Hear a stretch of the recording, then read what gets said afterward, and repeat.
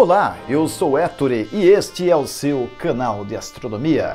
Está à toa na janela, olhando as estrelas passarem? Se prepare, porque dia 20 de agosto vai acontecer algo incrível! Saturno e a Lua. Ah, esses dois vão aprontar. E o evento vai ser visível no Brasil. É, você já pode pegar sua luneta, embora o evento será visível com os seus olhos sem roupa. Espere pelo dia 20 e se prepare para ser um explorador do sistema solar. Será incrível. Assista este vídeo até o final.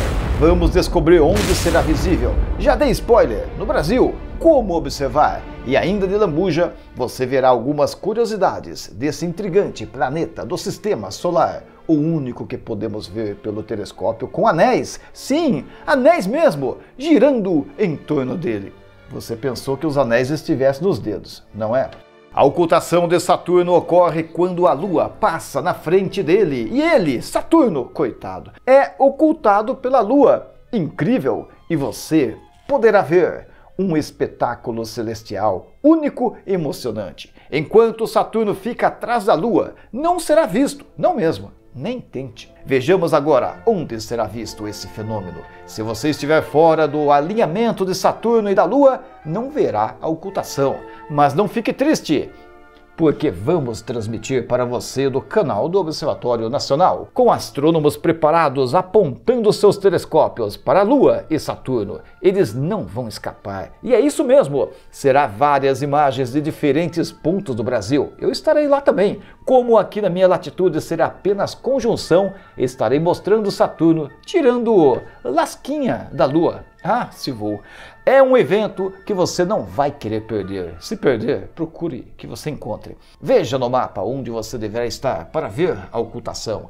Todo o norte e boa parte do nordeste do Brasil, países do norte da América do Sul, boa parte da Europa e noroeste da África. Você vai ver ou não? Sim, se estiver fora de alcance, poderá ver na nossa transmissão. Até os peixinhos e tubarões do Oceano Atlântico também poderão ver se não estiverem ocupados. O horário universal que vai ocorrer a ocultação será esse. Saturno começará a ser ocultado pela Lua às 0 horas e 45 minutos UTC e será libertado por ela às 4 horas e 37 UTC do dia 21 de agosto, ou seja, 22 horas e 45 minutos do horário de Brasília do dia 20 de agosto, até 1 hora e 37 minutos do horário de Brasília do dia 21 de agosto, na mesma noite, noite de 20 para 21 de agosto. Você já tem todos os dados para não perder este incrível evento astronômico que só acontece no nosso sistema solar, porque só aqui tem Lua e Saturno. Então, na noite do dia 20 para 21 de agosto, procure um lugar agradável para poder olhar para o alto. Espere pelo momento. Basta olhar para a Lua e você verá Saturno rodeando ela, pertinho, querendo uma ocultação. Avise todo mundo. Chame pai, mãe, namorada, irmão, tio, tia, avô, meio-irmão, cunhado, sogra, todo mundo. Grite bem alto. Vamos ver a ocultação. É agora! E a mágica vai acontecer. Todos olhando para o alto, vendo a lua grandona e brilhante, ocultando a luz pálida e fraca Saturno, que de longe parece que não é nada, de perto é magnânimo, colossal, gigante e poderoso. Um abraço de Saturno é mortal. É, ele abraçou a sonda espacial Cassini, que agora jaz em Saturno. Cassini virou parte da massa de Saturno.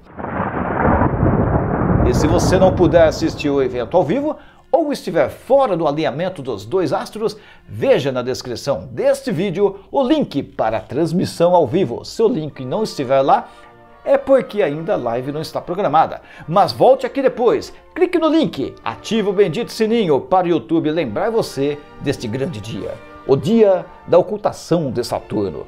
Por que ocorre esta ocultação? A Terra, a Lua e Saturno ficarão alinhados e por esse motivo Saturno ficará ocultado pela Lua. E se você pudesse ficar em uma sonda orbitando Saturno na latitude e longitude certa, veria o contrário a Lua ocultando a Terra. Espere aí. Aqui não é ocultação, é trânsito. Então você veria o trânsito da Lua pela Terra, pois não ocorre a ocultação. Logicamente, não veria a olho nu. Observe que o Sol não é visto, pois está atrás da Terra. Por isso que vemos apenas um fino arco iluminado pelo Sol, um arco da Lua e outro da Terra, assim na Lua como na Terra. Saturno é o rei das luas. Já tem 146 satélites naturais, mais do que qualquer outro do sistema solar. E é lá que fica a lua Encélados, onde é provável que tenha água talvez um oceano de água, debaixo de uma camada grossa de gelo. O segundo maior planeta do sistema solar, sem contar a extensão dos anéis. Seriam necessárias nove terras alinhadas para preencher todo o diâmetro de Saturno. Um planeta onde recebe pouca luz do Sol, pelo menos bem menos do que a Terra, pois está a 1,4 bilhões de quilômetros da Terra e é o sexto do sistema solar. Lá os dias são curtos e os anos longos. Veja, o Rei dos Anéis leva cerca de 10,7 horas para fazer uma volta completa em torno do seu eixo e nada mais do que 29 anos terrestres para completar uma voltinha em torno do Sol a joia do sistema solar. É um planeta gasoso e não possui uma superfície sólida como na Terra.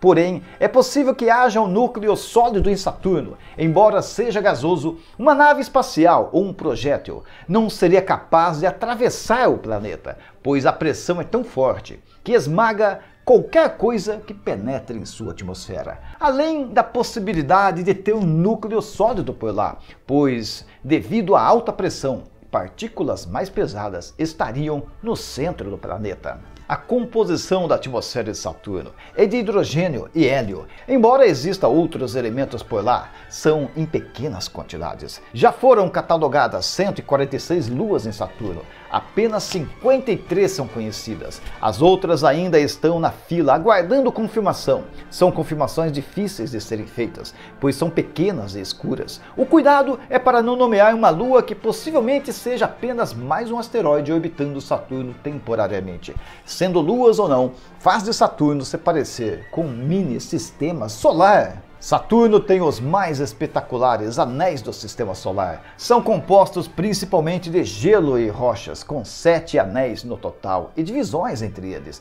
Veja no meu vídeo como identificar os anéis de Saturno para maiores detalhes. Quatro missões já visitaram o Gigante dos Anéis. Pioneer 11 que sobrevoou o planeta anelado, chegando em 1 de setembro de 1979. Voyager 1, que encontrou com Saturno em novembro de 1980. Voyager 2, em agosto de 1981 e Cassini, que orbitou Saturno 294 vezes entre 2004 e 2017. Saturno, conhecido desde a antiguidade, o nome veio do deus romano da agricultura, enquanto os gregos chamavam de Cronos. Então, se prepara para uma noite mágica sob as estrelas. Aproveite para se conectar com o céu e se maravilhar com mais um dos mistérios do universo. Aproveite a noite e até a próxima, exploradores do céu. Inscreva-se no canal, visite minhas redes sociais e fui!